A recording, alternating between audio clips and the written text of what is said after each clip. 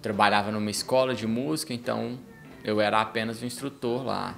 Quando eu comecei a trabalhar individualmente, particular, ter, ter alunos particulares, a minha demanda mudou e com certeza a minha entrega mudou também, né? Então eu achei que isso era uma coisa que, que era fundamental para conseguir compactar a entrega para as pessoas que fazem parte dela, né? Para as pessoas que fazem parte do meu do meu dia a dia, do meu trabalho. Então, muitas pessoas têm o mesmo têm a mesma vivência, assim, né? Têm o mesmo intuito de fazer aula de música, mas com várias referências diferentes, vários estilos diferentes, várias idades, né?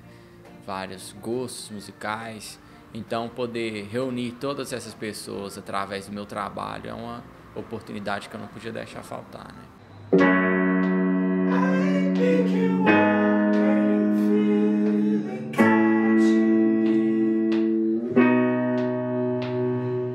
Como todos eles são meus alunos, então eu deixei eles é, o mais confortável possível para eles se sentirem mais confortáveis possíveis tocando e aproveitando, né? A maioria já conhecia aqui a minha casa, é, por fazerem aula aqui, né? Então, é, eu achei que seria o lugar propício para eles se sentirem à vontade tocando aquilo que eles gostam. Por incrível que pareça, todos tiveram a mesma reação, assim, todos ficaram empolgados, curtiram pra caramba, todos se empenharam, se entregaram é, para uma coisa maior, além da minha pessoa pedindo, né?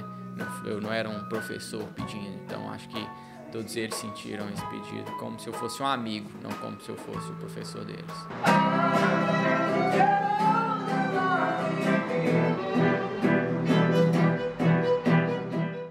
Comecei na música tarde, mas eu sou músico desde sempre. Eu realmente achei o tempo para que eu pudesse fazer disso a minha profissão. Desde então eu venho conhecendo pessoas incríveis e tendo referências incríveis, tanto profissionais quanto por amizades e várias inspirações dentro desse meio musical, fora o meio instrumental, né? Com esse tempo que eu trabalho com música, eu acho que eu deixei de ser um professor instrumentista de dar aula de um instrumento específico para conseguir dar aula de música. Então, eu acho que essa é a minha vertente agora e daqui para frente.